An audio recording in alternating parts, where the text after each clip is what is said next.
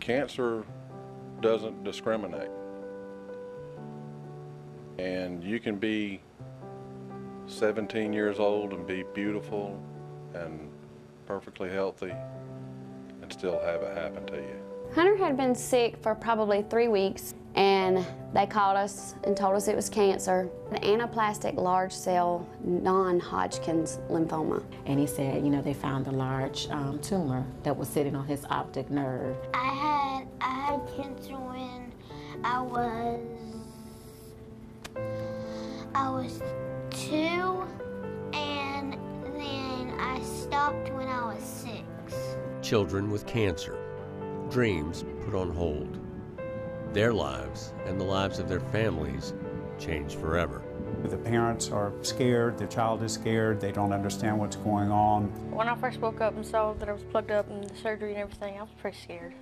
We have long talks about what the diagnosis is, what the treatment plan is going to be, what the side effects are likely to be. Imagine your own child. If this was your child and you had to uh, stay in the hospital or basically live in the hospital for weeks and days and sometimes months on end. We try to make these rooms as friendly as we can. We try to make them as bright as we can and as comfortable as we can.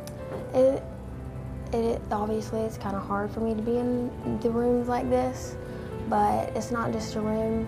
It's somewhere where I laid and fought for my life. So, yeah, and it's really important to have a good environment around you while you're going through things like that. Anna Hayes has ideas for decorating the new Willett Children's Hospital rooms. I would make a little machine that would make and that you could stick it in somebody's somebody and then you could and it could make them not get cancer anymore. While the rooms of the new Children's Hospital may not ever come with a magic cancer machine, Dwayne and Cynthia Willett are making sure they're equipped to help children who must fight for their lives. The Children's Hospital will be able to cure ills for decades in the future. Thanks to the Willett Children's Hospital and medical professionals and individuals just like you, the battle against cancer is being fought and won. Those on the front lines are our inspiration.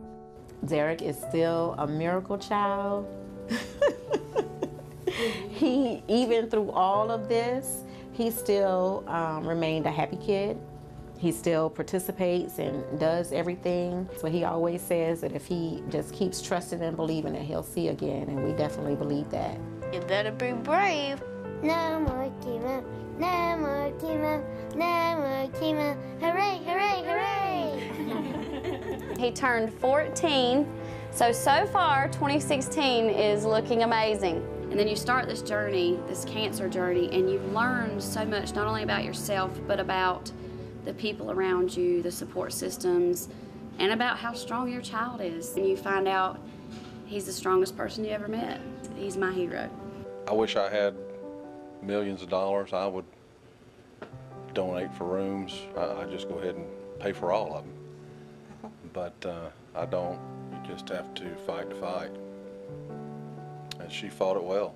This place matters. It's really, really important.